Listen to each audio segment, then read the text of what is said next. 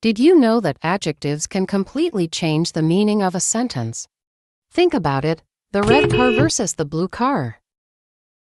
Today, we're going to explore adjectives, the words that add detail and color to our language. They help paint a clearer picture in our minds. So, what exactly are adjectives?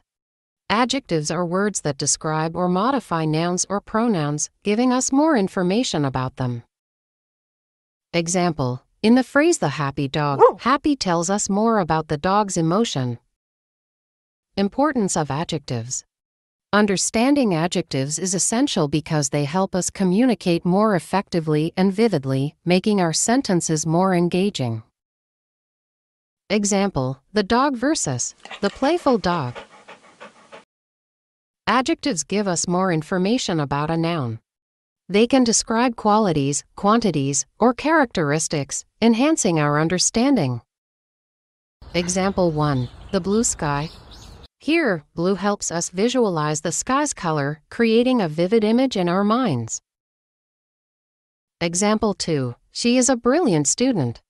In this case, brilliant tells us about her intelligence, adding depth to our understanding of her abilities.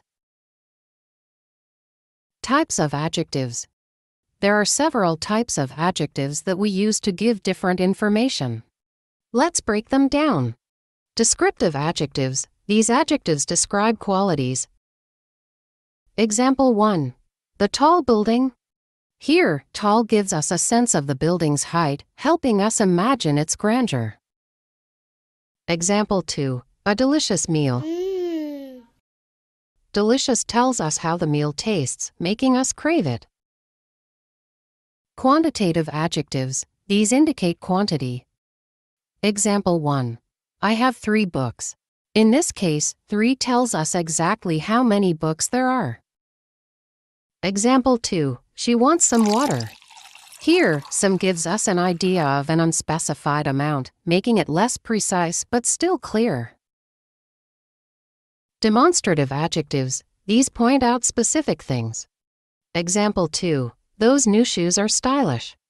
Those helps us identify which shoes are being discussed, while new highlights their recent purchase. Possessive adjectives, these show ownership. Example My red car is fast. In this example, my indicates that the car belongs to me, while red describes its color. Interrogative adjectives, these are used to ask questions. Example What color do you like? What asks for information, and color specifies the kind of answer expected. Degrees of comparison, Adjectives can also show different degrees of comparison positive, comparative, and superlative. This helps us compare different nouns. Examples Positive, this cake is sweet. Comparative, this cake is sweeter than that one. Superlative, this is the sweetest cake I've ever tasted.